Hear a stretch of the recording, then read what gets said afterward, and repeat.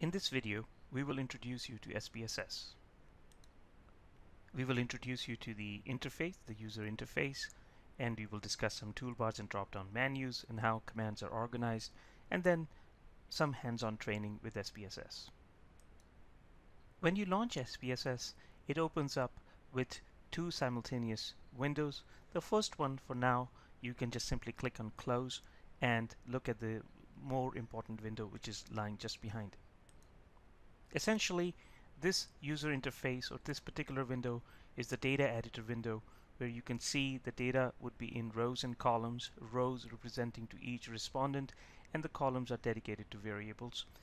And at the same time you see toolbars through which you can run the analysis, but the real essence of the program is hidden, hidden behind these drop-down menus. Everything to do with data is under data, transformation of data under transform, statistical analysis under analyze and graphing and charting under graphs. When we open a data set, this window will be full with data where rows will represent each observation and the variables would be in columns. Now let's open a data set to see how it looks like. Again, we are referring to the same data set from University of Texas. When the data set is displayed in the data editor window, you would notice that the variables are in columns and you can see the column names. Each row represents a particular course in the data set. So this row 2 will represent one course taught by a, a visible minority professor who's 36 years old. She's female and the beauty score is 0.29. She received a teaching evaluation of 0.37 and so on and so forth. The other very interesting part of SPSS is its ability to help you understand how your data is organized. You can look at the variable view by clicking on variable view. Under variable view, you see each variable listed in a separate row.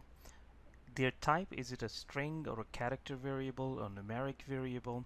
Their display characteristics, if the variable has a label, if it's a categorical variable, it, if it has any values, if they were missing information in it, and at the same time some other SPSS specific definition or types of variables and if you're familiar with um, data mining you would notice that it defines the variable role as either input or target.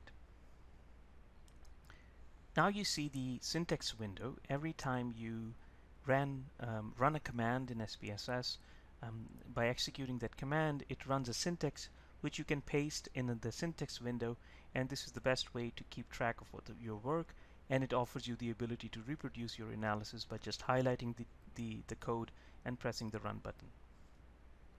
Your output is sorted in um, and placed and organized in the output window.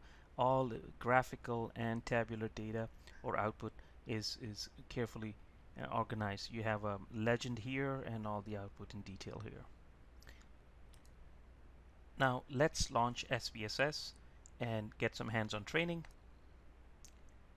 We will open the teachings rating data by clicking on this icon on the user on the toolbar. Click teaching ratings and then click open. The dataset is displayed in the data editor and the variable view is available with this toggle here you can see the variable view and the data view is here. At the same time you can um, you will notice that SPSS opens the output window that becomes the home for all the analysis that you will do that will be stored in the output window. Let's say we would like to compute the descriptive statistics for some of the variables which are continuous variables. So we click on Analyze Descriptive Statistics and then click on Descriptives and then select Age, Teaching Evaluation Score and then click from option C. We have the mean the standard deviation minimum and maximum selected so continue and say OK as soon as we say OK the output is presented here. The minimum age is 29 the maximum age is 73 and the average age is 48.37 with a standard deviation at 9.8 another way of doing the same is to use the syntax. We click on this icon to get the last dialog box we used and instead of clicking on OK I would click on paste to paste the syntax in the syntax window you could see that this is the command that SPSS actually executed. Another way of getting the same output is to highlight this command and say run and it will run the selection and you could see the same output is reproduced this time by clicking on the syntax.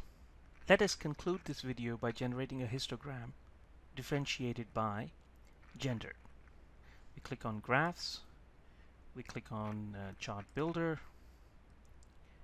we click on histogram, click on this, drag it here. It says the distribution variable, which is teaching evaluation, we put it here, and the sp split variable, let's say gender, we just drag it here. And now we have the option of clicking on OK or paste. We just say OK, and your histogram is ready